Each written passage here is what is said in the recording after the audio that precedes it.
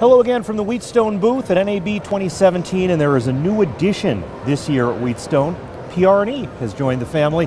Richard Maddox is here with us from PR&E, a new member of the Wheatstone family. Yep. Welcome. Let's talk a little bit about your background with PR&E. Well, I've been there since 1993, came in as a digital product specialist. We had a digital editor that they introduced at uh, NAB show that year, and I realized that uh, digital was the way of the future, so there you go. It's been digital all the way for me, although, of course, supporting still the older analog consoles as well. So. Now, before we get to the new stuff, I got to reminisce for a minute because that was the DSE 7000, right? Well, that was the uh, Orban's version was a DS7000. This was the ADX. The ADX. yeah, because right. everything had to have an X when yes. it was a PR&E console and that. So we had the ADX, which uh, matched with the PMX, which was the production mixer, and we, I don't know, we sold maybe a hundred of them, something like that, and at sixty thousand dollars a pop. It was a pretty good market until, of course, you could get free editing on the computer, and that kind of killed that market. So had what, probably half an hour of audio storage. yeah, exactly. Oh yeah, uh, yeah. You had like a 1.6 gigabyte drive, and it was like four thousand dollars or oh, something. Bet. You know, it was like now it's a dollar store thumb drive. Let me show you my micro SD with exactly, all my music. Exactly. So moving forward, here we are now as uh, as part of Wheatstone. Let's talk a little about that transition. How's it been going? Well, I, for me, it's a very big positive because of the fact that uh, at GatesAir we hadn't really done anything um, since well since Harris Broadcast sold off PR&E along with everybody else in the Broadcast Communications division. So it was just a holding pattern, and um, as the entire industry went to audio over IP, we were kind of stuck in the TDM world, and so I'm I'm very optimistic about the future here.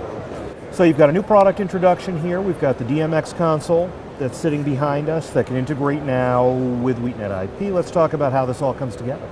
So when Wheatstone bought PR&E, which happened in the middle of February, which was like way late for the NAB show, sure. but because of the fact that Wheatstone can turn stuff so fast, then they're able to introduce the PR&E DMX console at the show. And so this will not only as a standalone room, but can integrate with the WheatNet IP system. And then we've also got a, a Razor, which allows you to now take and plug in and sort of cross connect into a Vistamax so that you can tie lines between the Vistamax and the WheatNet so that this guy you could add into an existing Vistamax system tie line, you know, program and mix minuses and a few other signals back and forth so that you can now easily integrate and transition from the old TDM world into the wonderful world of audio over IP. So if you've been working with, uh, with a Vistamax system, what opportunities now does this give you that, that you wouldn't have had before in the TDM landscape? Well, basically it allows you to, uh, with this particular console, it integrates source selection out of every single channel, and on our previous consoles, that was always an upgrade, except for the RMX Digital, which was the only one that had that integrated into every channel. And so this is sort of the first cut. The next cut will be a more sophisticated console, much like the RMX Digital, and that will sort of transition the whole PR&E line, uh, a PR&E line into audio over IP. But the plan is to still be able to support the existing products everything from the late 90s digital consoles on for the foreseeable future. And that's of course a big part of what Wheatstone does is to maintain that support. Exactly. That's, that's good news for existing users of, uh, of your TDM yeah, system. Yeah, and that's one of the things that uh, a lot of people have been asking about to make sure that that was going to happen and to make sure that there was still that tribal knowledge of the older uh, console stuff.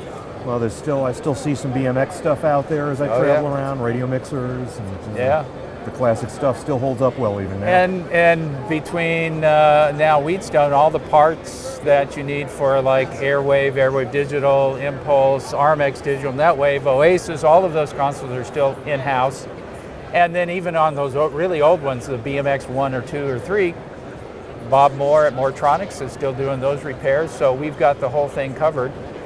And I had a I had a customer this morning from Panama who has not only an older PR&E console but also an R90, and he's needing parts. And I say, hey, it's a one-stop shop One now, stop, dude. absolutely. Good deal, Richard. Thanks so much for spending some All time. right. Going to look forward to seeing what comes next out of PR&E with you. Yeah, I look forward to it too.